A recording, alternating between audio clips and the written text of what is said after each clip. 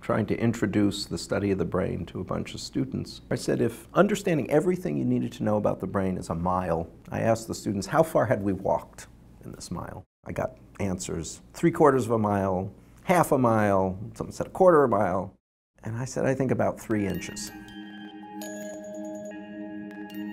This is unconventional science.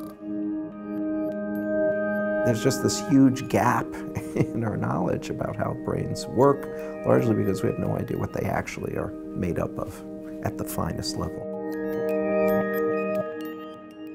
When it comes to the nervous system, there are a large number of diseases where the only real sign that there's something wrong is the outward manifestation of the disease. A person is acting crazy, or they don't seem to learn very well, or their movements are disordered in some way.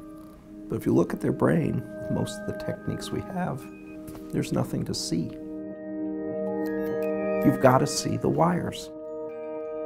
You just have to see them, and you have to see where they come from, where they go, what they connect with, and be able to map that out in enough detail that ultimately you will be able to render the information that goes into a brain to see the wiring diagram at the resolution of every single synaptic vesicle in every synapse. Enough resolution, we think, to see everything in a wiring diagram.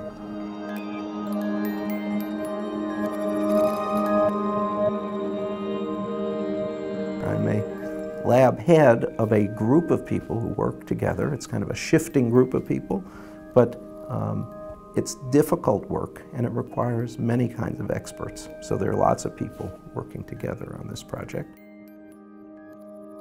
What we're trying to understand is how cells in the brain communicate with each other.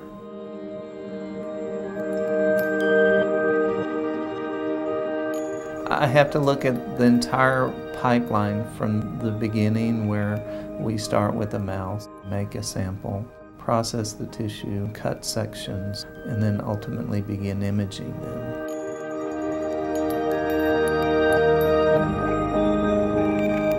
Slice is like you're cutting a loaf of bread, except you're trying to slice very thin pieces of, of, of tissue. So for a millimeter depth, you get about 33,000 sections.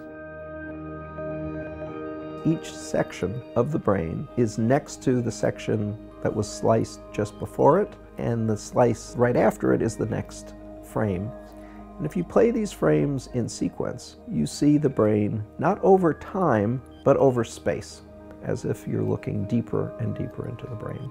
The big objects you see that appear and then slowly go out of appearance, those are nerve cells that are being cut through. And coming off of these cells are these large light-colored objects, which are the dendrites. Every little object in here is a little wire to keep track of these cells from one section to another, what you'd like to do is kind of color them in. So every one of these colors have no meaning other than to keep track of each object from section to section. What this allows us to do is to generate a wiring diagram based on this. We now know everything about these wires here, and from that we can generate all the connections of every cell in that area. Information forces you into this uncomfortable position where you have to kind of say, okay, I don't get it, but I know that the real world is more complicated than the way I'm thinking about it. I feel it's a very long road, and we've just started. That's my view.